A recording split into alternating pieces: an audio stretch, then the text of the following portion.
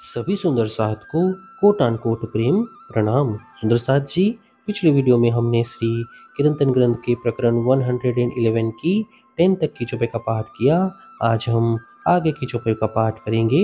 सुंदर साथ जी, अगर आपको यह वीडियो अच्छा लगे तो प्लीज़ लाइक करें और जो भी सुंदर साथ आपके साथ जुड़े हुए हो, उन सबको भी यह वीडियो अवश्य शेयर करें। सुंदर साथ जी, जिन्होंने अब तक हमारे इस चैनल को सब्सक्राइब नहीं किया वे प्लीज़ इस चैनल को सब्सक्राइब कर दें ताकि आने वाले नए वीडियो का नोटिफिकेशन आपको तुरंत मिल जाए। आगू आए ज़ाहिर किया, आवने को ईमान, खासी गिरो के वास्ते कई कहे निशान। रसूल मोहम्मद ने आकर पहले से ही सूचना इसीलिए दी कि उपयुक्त समय पर सबको विश्वास हो। ब्रह्म आत्माओं के लिए कुरान में ऐसे अनेक संकेत बनाए गए हैं। ये बातें सब अरस की, जब याद आवे तुम, तब इसक तुम्हें आवसी।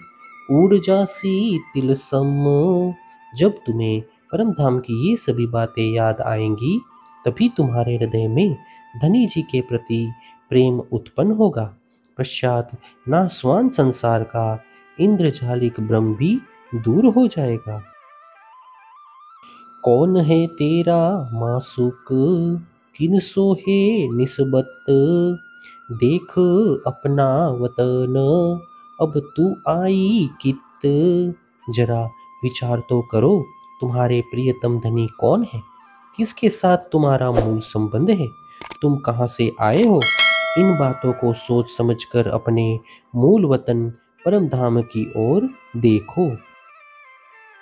हक रूहों को दई अपनी जो न्यामत, इन नासूते बुलाए दई।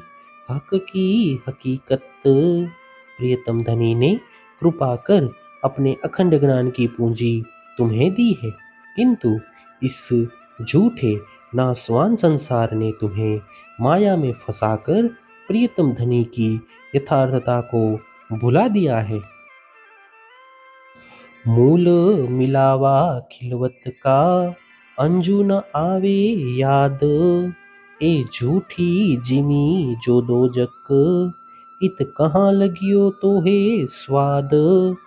अब भी तुम्हें अखंड परम धाम की अंतरंग बैठक, एकांत घर मूल मिलावा की याद नहीं आ रही है? नरक के समान इस संसार में तुम्हें कैसा स्वाद आ रहा है? मासु के इत आए के कैसा दिया इलम? सक तो है कोई न रही, ना रही, अंजू याद न आवे कसम। प्रियतम धनी ने सतगुरु में के रूप में यहाँ आकर हमें कैसा दिव्य ज्ञान दिया?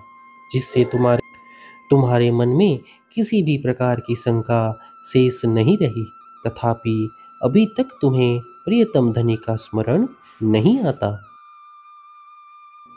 महामत कहे, ए मोमिनो, ऐसी क्यों चाहिए रुहन? ए मेहर देखो महबूब की, अरस जिनो वतन। महामती कहते हैं, हे ब्रह्मात्माओं परम धाम की आत्माओं के लिए इस प्रकार का व्यवहार शोभा नहीं देता।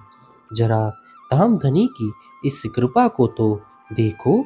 प्रकरण 111 चौपाई 1675 हे सुंदर साथ जी इसी के साथ श्री किरंतन ग्रंथ का प्रकरण 111 पूर्ण होता है।